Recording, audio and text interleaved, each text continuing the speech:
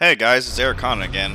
Um, this is like a second video of my Battlefield 4 video. Uh, you guys already seen it. If not, it's in the description and you can check it out on my channel.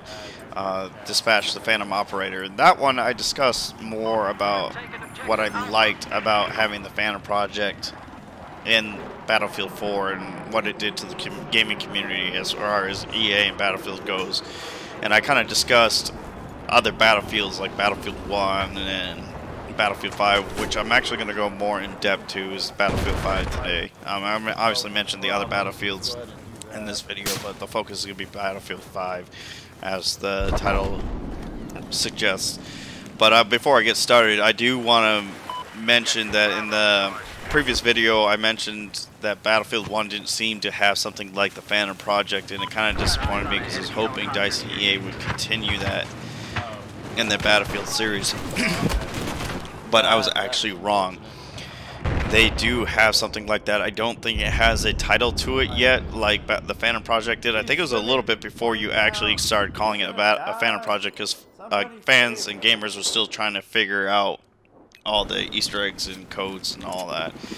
Um, but there are secret rooms and challenges and Morse code and hidden things throughout maps to unlock things like dog tags and skins and um, I think there's a Jack. I, I noticed this because I was googling if Battlefield 1 had anything like the Phantom Project, and I came across a JackFrags video, which ironically, as soon as I watched for to help me complete the Phantom Bow challenges, or I'm sorry, the Phantom Project.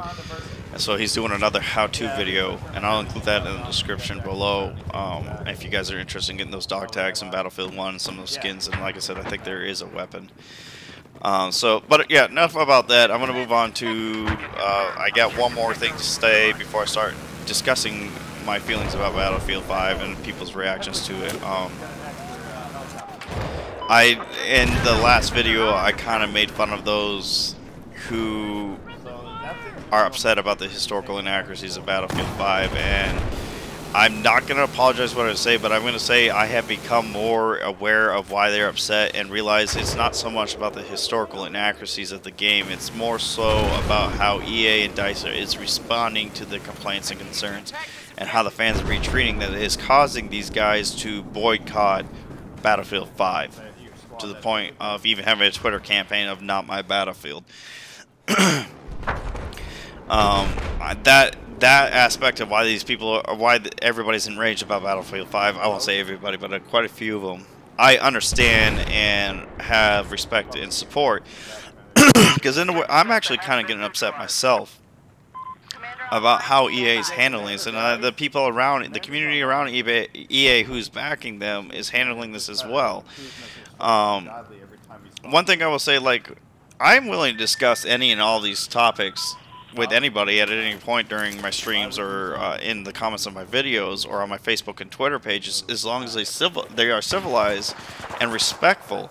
EA and Dice and some of these people that are writing these video game articles are completely alienating this demographic of Battlefield 5 supporters or Battlefield supporters. I, I, I gotta correct myself because uh, these people that are making these complaints are not supporting Battlefield 5, hence why they're boycotting it. Um, and if the if people came at me with, during these discussions, the way these article writers and uh, heads of EA and DICE are coming at the people complaining about their game, I would just shut them down and not listen to them. If you want me to be more sympathetic to your cause, like being progressive towards women's rights and equal being equally treated and eliminating things like sexism and racism, which uh, you you wouldn't really have to try to convince me of that. I am all for that kind of thing, getting rid of it. I don't support racism or sexism by any means, but I'm saying if you want me to listen to your side of the view, maybe explain to me why you think it's ridiculous people are getting so upset about Battlefield 5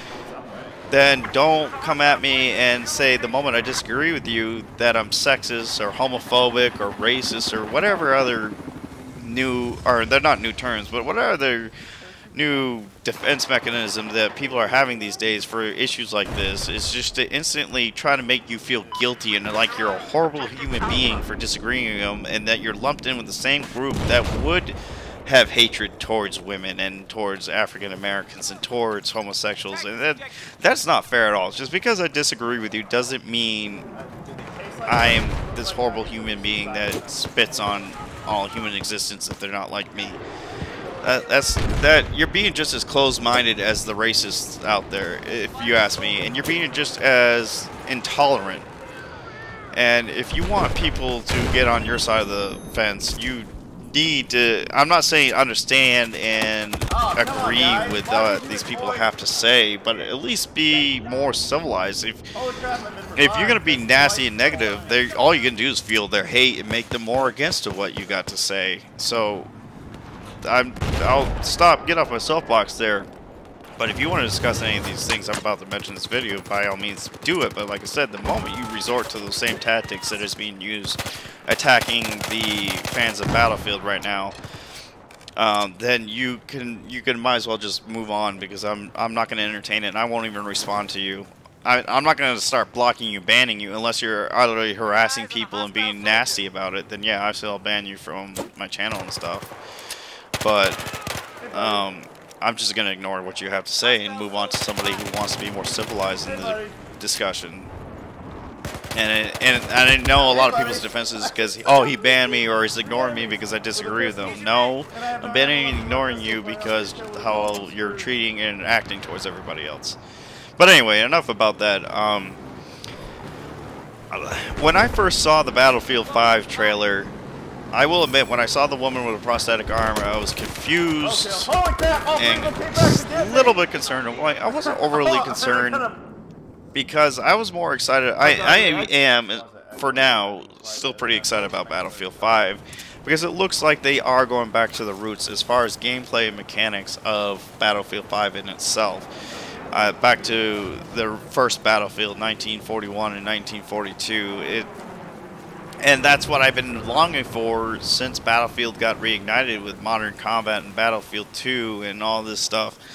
Because um, I, I feel EA and DICE have kind of strayed away trying to compete with Call of Duty and be more appealing to Call of Duty fans, which there's nothing wrong with Call of Duty fans, but there's also nothing wrong with them not liking Battlefield because they prefer Call of Duty. I like Call of Duty up until recently. Um, and had no issues with it at all. And but call when I play Call of Duty, I wanted to play Call of Duty. When I wanted to play Battlefield, I wanted to play Battlefield. And I think EA and DICE lost sight of that by adding things like TDM and Squad Deathmatch into the newer Battlefields. Um, if you guys want to just go around kill people, go play Call of Duty. That's that's the way I view it. And I want EA to go back that way with Battlefield 5, where they're gonna have just objective-based multiplayers, and it's not going to be all about who can get the most kills. And from what I understand, you, sounds like you're going to be more reliant on your squad instead of hiding up, up off in the hills, leeching off your squad's squad boost to snipe to make sure your KD stays positive and it becomes on the leaderboard. Uh, I'm more impressed by those who have a high KD, high squad score, high uh, objective score on the leaderboards than I am about somebody has like, let's say, 300 kills and 25 deaths. Woohoo, congratulations. You do absolutely nothing for your team. Like I said, I, there's nothing wrong with wanting to do team deathmatch style video games, but that's more about Call of Duty than it is about Battlefield. I want my Battlefield to be Battlefield and Call of Duty to be Call of Duty. They don't need to intermingle, and I kind of get frustrated when people try to compare Battlefield to Call of Duty because they're not the same to tell me they're the same shows me how ignorant you are. Because, the, uh, yeah, the only thing similar about them, you carry guns, you get unlocks and attachments, and from what I can see, Battlefield 5 kind of has a perk system, but it's more a squad-based perk system than an individual perk system. Um, and, uh, well, I mean kill streaks, I should say. But that's it. That's the only similarities.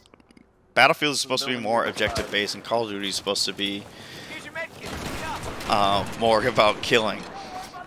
So when I'm discussing what we're discussing in this video today, I'm just discussing Battlefield. I, Call of Duty means nothing to me right now.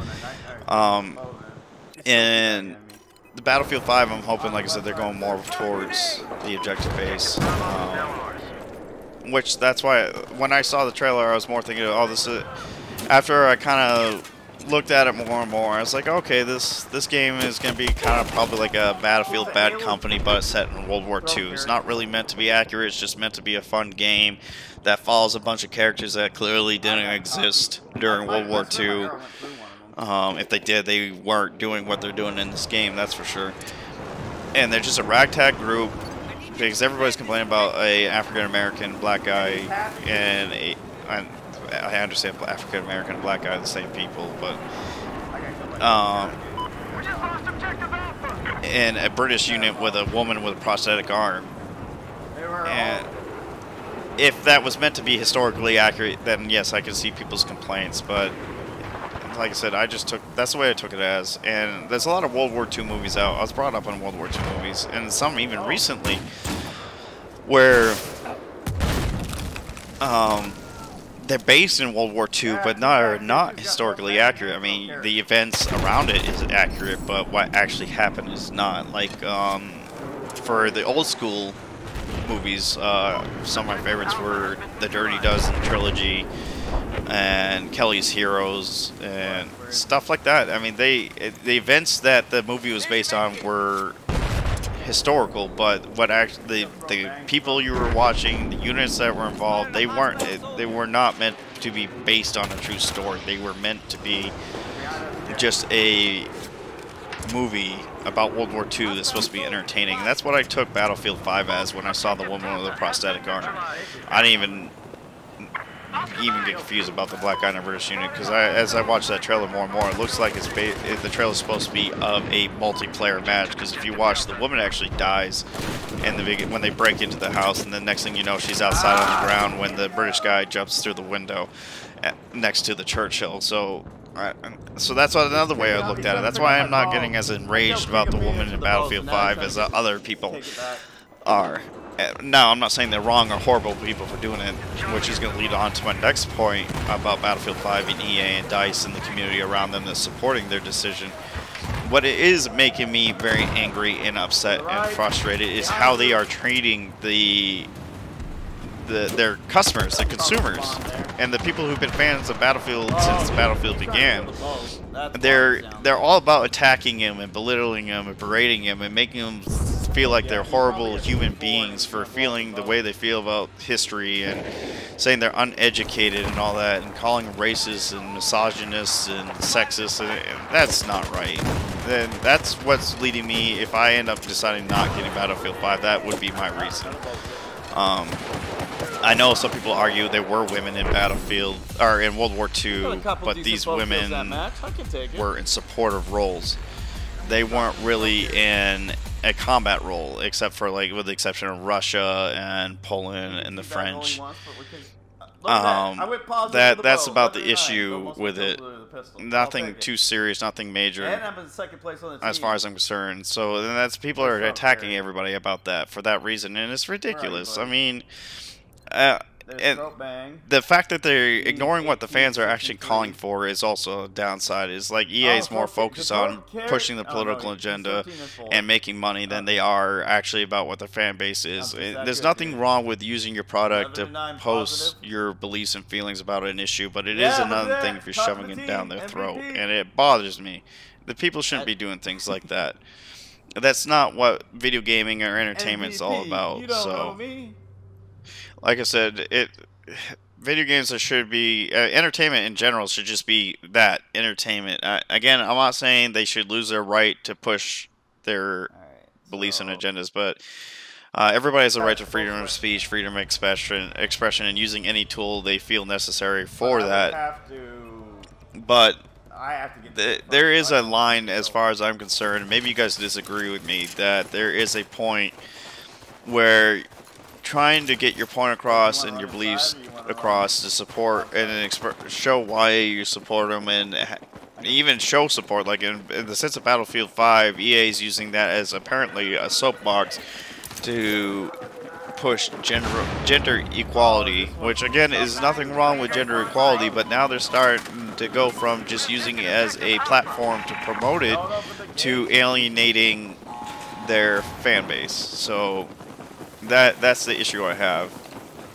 Like that's the line they crossed. They went from just trying to promote their agenda to bashing, shoving it down your throat, and if you refuse to swallow, bashing you over the head with it. And that's just wrong. Especially since they're ignoring the actual complaints that everybody's having. They're they're just here. Oh, you don't like women? Okay, and then that's where they're going, and that's wrong. But um, actually, I'm trying to keep this video under 15 minutes. I'm a little over right now, so I'm going to make this a two-part series. So stay tuned for the second part of this video. I should post them about the same week, hopefully. It will depend how long it takes to do the final editing of this. So um, actually, the beginning of the next video is what you're seeing right here. You'll be my Operation Locker footage.